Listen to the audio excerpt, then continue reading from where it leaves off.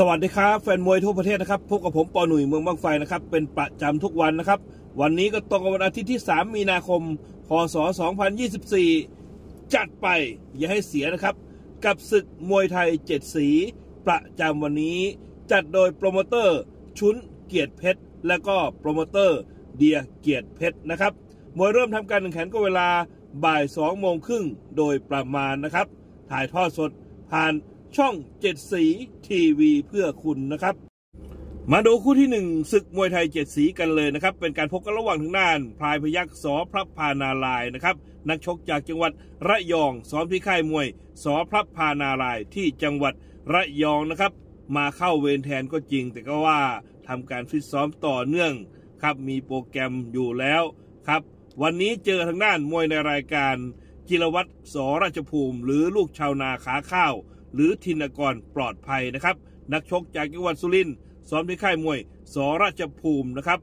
วันนี้ชกกันในพิกัด 106 ปอนด์นะครับ เมื่อเช้านี้ทางด้านพลายพยักษ์สอพระพานาลายนะครับชั่งน้ำหนักได้ 106 ปอนด์เท่าพิกัดพอดีนะครับ ส่วนทางด้านจิรวัตรสราชภูมิก็ชั่งน้ำหนักได้ 106 ปอนด์เช่นเดียวกันนะครับ นี่คือการชั่งน้ำหนักเมื่อเช้านี้ของทั้งคู่ที่เวทีมวยช่องเจ็ดสีนะครับ สำหรับสไตล์การชกของทางด้านจิรวัตรสราชภูมินะครับ ก็เป็นมวยขวาเข่าในล็อกตีเหนียวแน่น บูดุดัน แข็งแกร่งแข็งแรง อาวุธครบเครื่องครับนี่คือสไตล์การชกของทางด้านจิรวัตรสราชภูมินะครับ ส่วนฟอร์มหลังของด้านจิรวัตรสราชภูมินะครับสองฟอร์มหลังนะครับ ก็ไปชนะคะแนนไฮยีน่าออุดอุดร เมื่อวันที่ 19 พฤศจิกายน 2566 ที่วิกหมอชิด ไฟล์ล่าสุดนะครับ แพ้คะแนนให้กับทางด้าน มนพรรามสิทธิเพชรฉลูกัน เมื่อวันที่ 28 มกราคม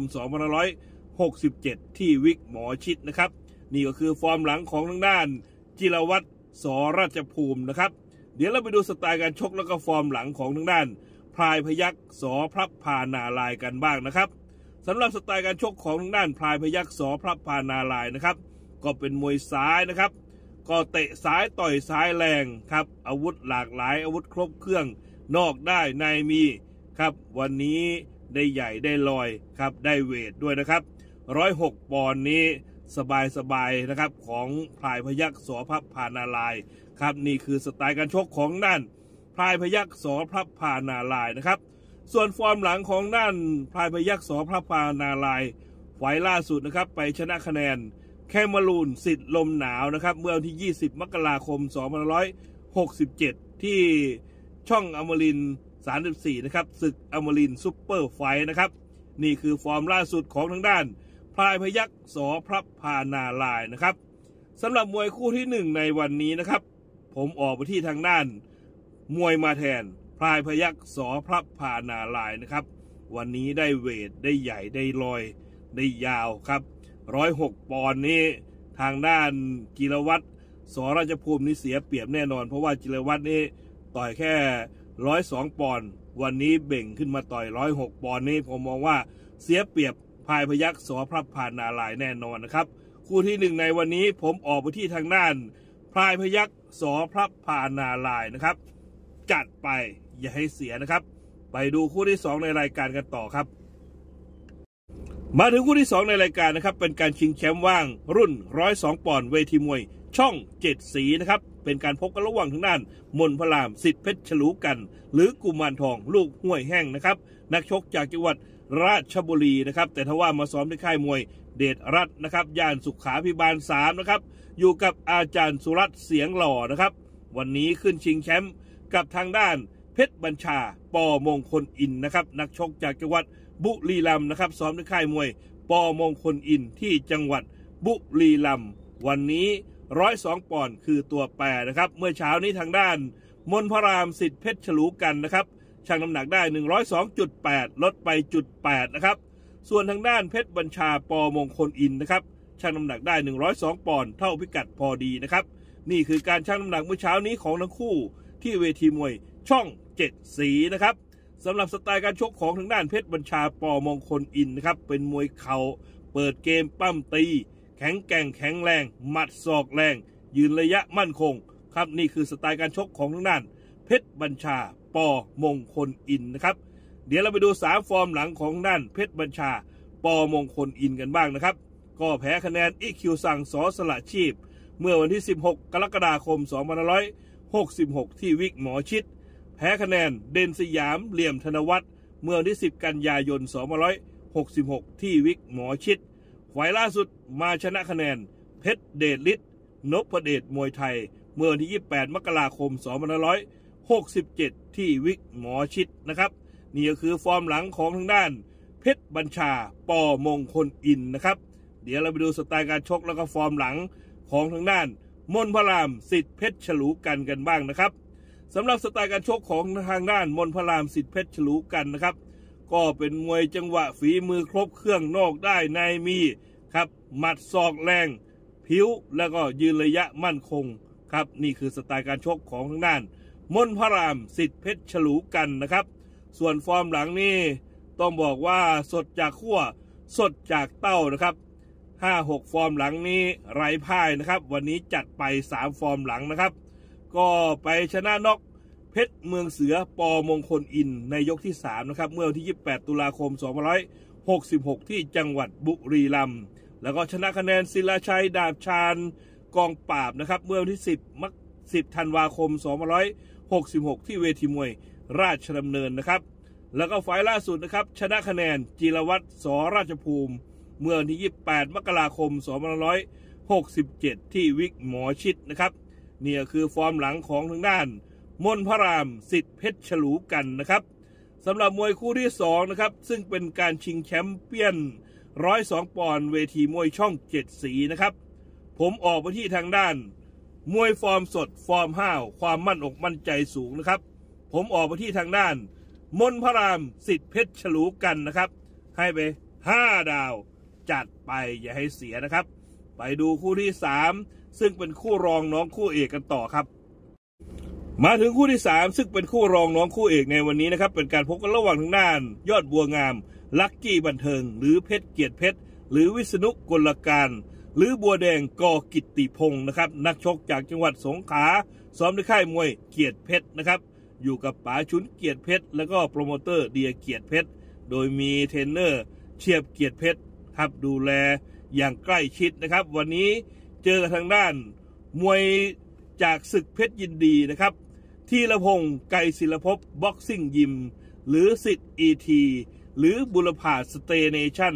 หรือดาบเลดปอสอนะครับ ก็เป็นนักชกจากกรุงเทพมหานคร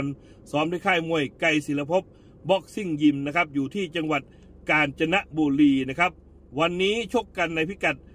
112 ปอนด์นะครับ เมื่อเช้านี้ทางด้าน ยอดบัวงามลักกี้บันเทิงนะครับชั่งน้ำหนักได้ 113 ปอนด์ลดไป 1 ปอนด์นะครับ ส่วนทางด้านทีละพงศ์ไกรศิลภพบ็อกซิ่งยิมนะครับชั่งน้ำหนักได้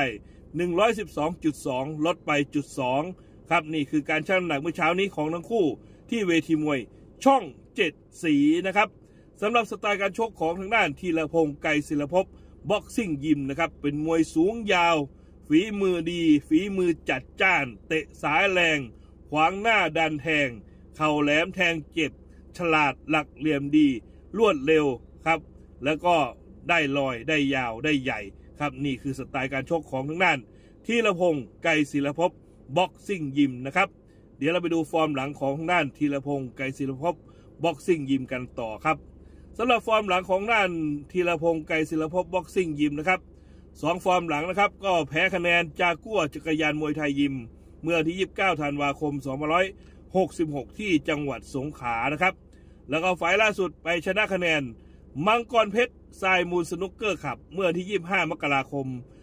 2567 ที่เวทีมวย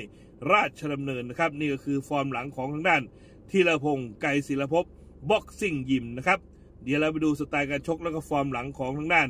ยอดบัวงามลักกี้บันเทิงกันบ้างนะครับ สำหรับสไตล์การชกของทางด้านยอดบัวงามลักกี้บันเทิงนะครับเป็นมวยขวา ฝีมือครบเครื่อง ดักศาสตร์แข้งแทงเข่าขวาคอ ปั้มตีแข็งแกร่งแข็งแรง แล้วก็มีเข่ายัดไส้แรงบุดุดัน แต่ถ้าว่า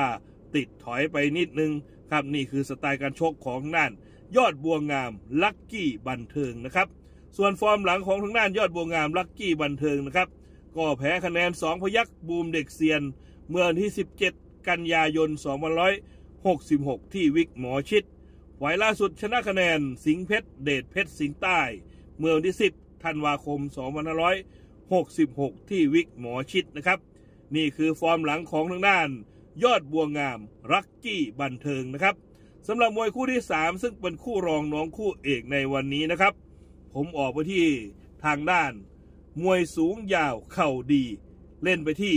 ทีละพงศ์ไกรศิลภพ บ็อกซิ่งยิมนะครับ จัดไปอย่าให้เสียนะครับ ให้ไปอีก 5 ดาวนะครับ ไปดูคู่ที่ 4 ซึ่งเป็นคู่เอกกันต่อครับ มาถึงคู่ที่ 4 ซึ่งเป็นคู่เอกในวันนี้นะครับ เป็นการพบกันระหว่างทางด้านชาติพยักษ์ศักสตูล หรือพยักษ์เกาะใส่หรือเชษทุ่งวานะครับ นักชกจากจังหวัดสตูลซ้อมในค่ายมวยเกียรติเพชรนะครับอยู่กับป๋าชุนเกียรติเพชรแล้วก็โปรโมเตอร์เดียเกียรติเพชรนะครับ วันนี้เจอกับทางด้าน มวยเข่าครับพรเสน่ห์สอภูมิพัฒน์หรือสอเทียนโพ นักชกจากจังหวัดนครศรีธรรมราชซ้อมที่ค่ายมวยสอภูมิพัฒน์ที่จังหวัดนครศรีธรรมราชนะครับ อยู่กับสารวัตรสมพรภูมิพัฒน์นะครับ วันนี้ชกกันในพิกัด 126 ปอนด์เมื่อเช้านี้ทางด้าน ชาติพยักษ์ศักสตูลช่างน้ำหนักได้ 126 ปอนด์เท่าพิกัดพอดีนะครับ ส่วนทางด้านพรเสน่ห์สอภูมิพัฒน์นะครับ ก็ชั่งน้ำหนักได้ 126 ปอนด์เช่นเดียวกันนะครับ นี่คือการชั่งน้ำหนักเมื่อเช้านี้ของทั้งคู่ที่เวทีมวยช่องเจ็ดสีครับสำหรับสไตล์การชกของทางด้านพรเสน่ห์สอภูมิพัฒน์นะครับ ก็เป็นมวยขวานะครับ เปิดเกมสาดแข้งขวางหน้าดันแทง เข่าแหลมแทงเจ็บเป็นมวยที่ตื้อดี และก็ขยันออกอาวุธ ปั้มตีแข็งแกร่งแข็งแรงครับหักเทดีครับนี่คือสไตล์การชกของทางด้าน พรเสน่ห์สอภูมิพัฒน์นะครับ ส่วนฟอร์มหลังของด้านพรเสน่ห์สอภูมิพัฒน์นะครับ ก็สามฟอร์มหลังชนะคะแนนชยกรพอหลักบุญ เมื่อที่ 21 พฤศจิกายน 2566 ที่วิกลังสิตนะครับ แล้วก็ไฟล์ล่าสุดแพ้คะแนนชยกรพอหลักบุญ เมื่อที่ 27 ธันวาคม 2566 ที่เวทีมวยราชดำเนิน แล้วก็ไฟล์ล่าสุดแพ้คะแนน ดีเซลน้อยเหลี่ยมธนวัฒน์เมื่อที่ 4 กันกุมภาพันธ์2567 ที่วิกหมอชิดนะครับ นี่คือ 3 ฟอร์มหลังของทางด้าน พรเสน่ห์สอภูมิพัฒน์นะครับ เดี๋ยวเราไปดูสไตล์การชกแล้วก็ฟอร์มหลังของทางด้าน ชาติพยักศักดิ์สตูลกันบ้างนะครับสำหรับสไตล์การชกของทางด้าน ชาติพยักศักดิ์สตูลนะครับ เป็นมวยเข่าในอาชีพนะครับ เข่าเจอเข่าก็ว่าได้นะครับ ขวางหน้าดันแทง มีเข่ายัดไส้แรง เข่าโยนแทงเหลี่ยมดี เข่าดีศอกสวนแรง แล้วก็เป็นมวยที่ใช้อาวุธครบเครื่อง หนักแรงทุกลูกทุกดอก ครับนี่คือสไตล์การชกของทางด้าน ชาติพยักศักดิ์สตูลนะครับ ส่วนฟอร์มหลังของทางด้านชาติพยักศักดิ์สตูลนะครับ ก็ต้องบอกว่าสามฟอร์มหลังนี่สดจากขั้วสดจากเตานะครับ ชนะคะแนนวินมอรัตนบัณฑิต เมื่อที่ 5 กรกฎาคม 2566 ที่จังหวัดสตูล แล้วก็มาชนะนกดาบดำปตททองทวีในยกที่ 1 เมื่อวันที่ 15 ธันวาคม 2566 ที่วันลุมพินีนะครับ รับโบนัสมา 3 5 0 0 0นะครับ วันนั้น แล้วก็ไฟล์ล่าสุดนะครับ ชนะคะแนนเพชรไทยแลนด์ ยอดมวยพลรัตน์เมื่อที่ 31 ธันวาคม 2566 ที่วิกหมอชิดนะครับ ต้องบอกว่าสดจากขั้วสดจากเต้าก็ว่าได้ ครับนี่คือฟอร์มหลังของทางด้าน ชาติพยักศักสตูลนะครับ สำหรับมวยคู่ที่ 4 ในวันนี้นะครับ เข่าเจอเข่านะครับ ผมออกไปที่เข่าสดครับ ออกไปที่ชาติพยักศักสตูลนะครับ วันนี้แข็งแกร่งแข็งแรงกว่าหนักแรงทุกลูกทุกดอก น่าจะเก็บชัยชนะไปครองได้นะครับ คู่ที่ 4 ในวันนี้นะครับ ผมออกไปที่ทางด้าน ชาติพยักศักสตูลนะครับ ให้ไปอีก 5 ดาวจัดไปอย่าให้เสียนะครับ ขอให้ทุกท่านโชคดีมีชัยเฮงเฮงรวยรวยสวัสดีครับ